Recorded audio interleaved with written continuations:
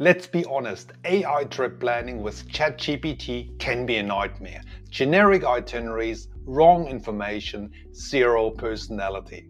In this video, I'm going to show you how to use ChatGPT to plan your holiday step by step, using a two-week North and South Island New Zealand itinerary as an example. But this isn't just about spitting out dates and locations. With my five step approach, you'll unlock a smarter, more personalized trip plan that you ever thought possible. So let's get into it. So let's start with how not to do it. I put this temporary chat in here to basically start with a blank sheet. So we put in here the prompt, please provide me with a 14 day New Zealand itinerary. And this is the result. So let's go briefly through that. Day one Auckland, then day two Auckland Rotorua, then Rotorua to Taupo, then to Wellington, to Nelson, etc. etc. So the key issue I see here is that you're traveling far too much with limited time you have. So we have here Rotorua two nights, which is fine, but there's no point really to stay another night in Taupo because it's only a good hour's drive away. Also, the drive from Taupo to Wellington, it's quite a long one, and then on the ferry with limited time. Um, you don't want to do that. You want to use domestic flight. In general, you want to have one third of your time in the North Island and two thirds in the South Island. So given the limited amount of information and sometimes the wrong details. This is one of the key reasons people still don't really trust travel planning with AI. Very soon I will show you the way we use it with our custom ChatGPT, which makes a whole lot of difference. So hang in there. So here's my five-step planning approach that combines real human travel experience with the smartest technology we ever had access to. Step number one, the basics. First, super important, let's quickly understand what we're working with. GPT stands for Generative Pre-trained Transformer. It's the AI brain behind ChatGPT. Each custom GPT is designed to solve specific problems. Note the word custom. In our case, we have customized specific trip types like motorhome journeys, South Island adventures, or honeymoon getaways, etc. Second, they use proven sample itineraries as templates, so your first draft is already realistic and workable.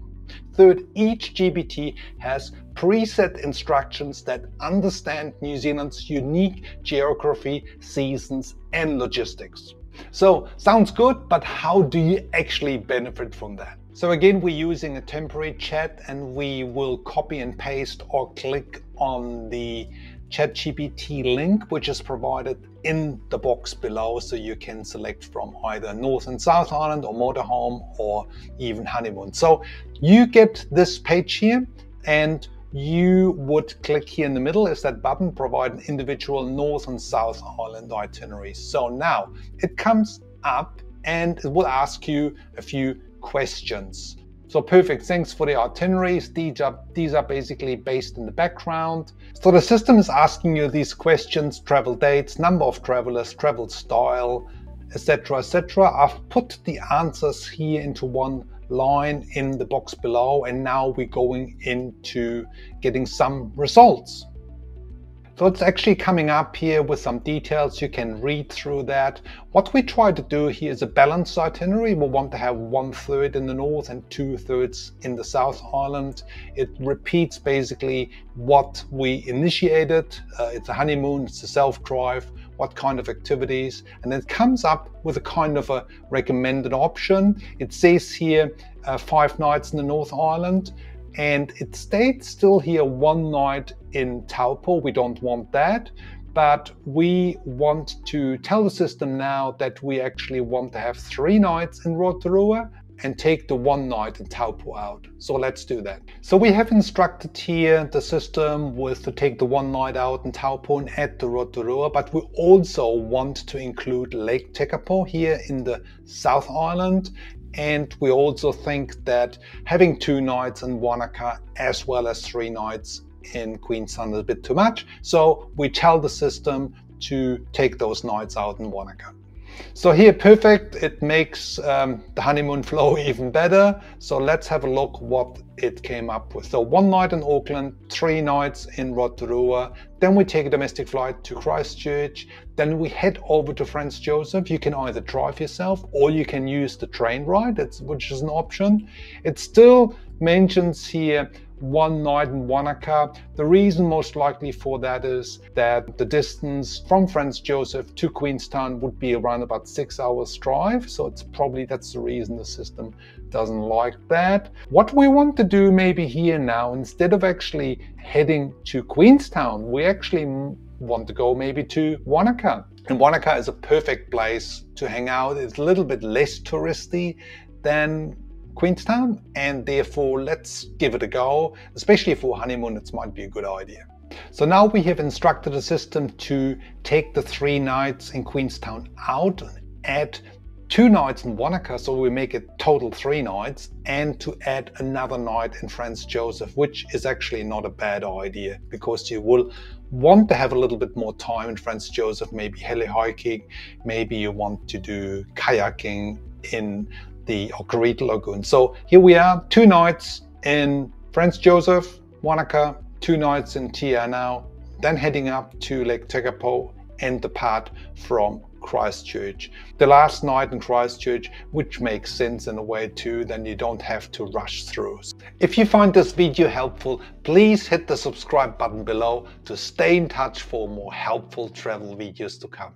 Now we instruct the system to build the full itinerary.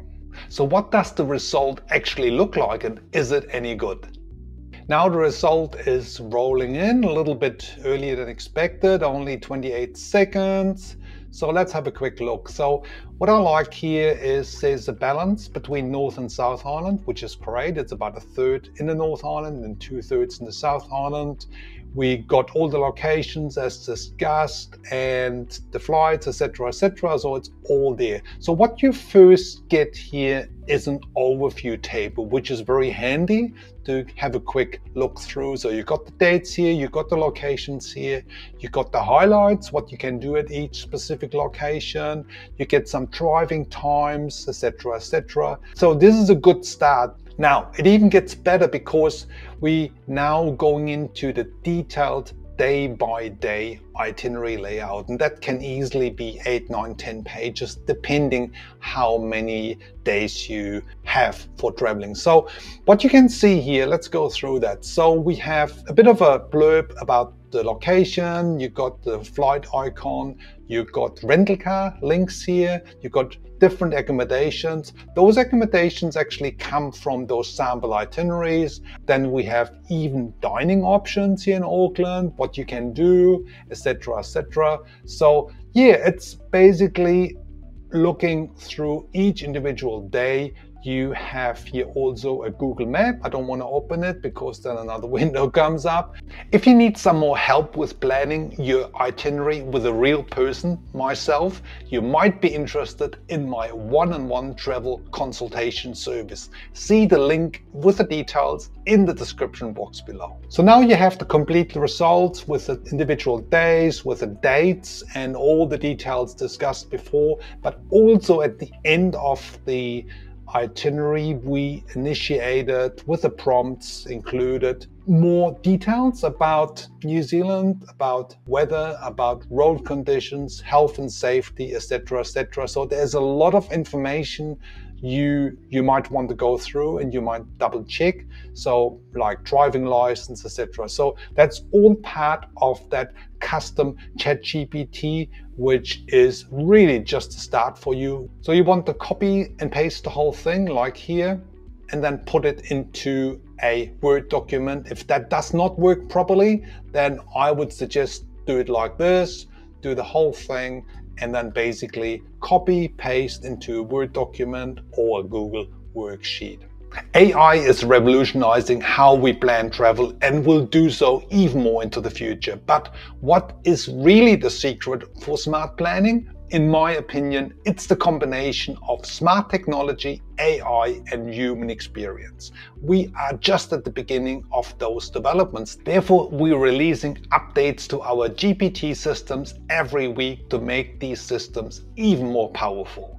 Now, if your next decision is choosing between a rental car and a motorhome for your transportation needs, check out this comparison video for more details. You'll find it linked in the description box below as well as the other links. Thanks very much for watching. See you in the next video.